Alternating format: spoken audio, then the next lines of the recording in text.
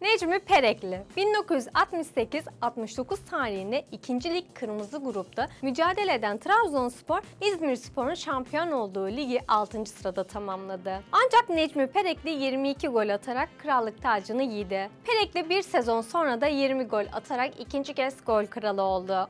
Perekli, Giresunspor, Beşiktaş ve Altay maceralarından sonra döndüğü Trabzonspor'un ikinci kez şampiyon olduğu 1976-77 sezonunda 22 maçta attığı 18 golle Bordo Mavili ekibin 1. Lig'deki ilk gol kralı oluyordu.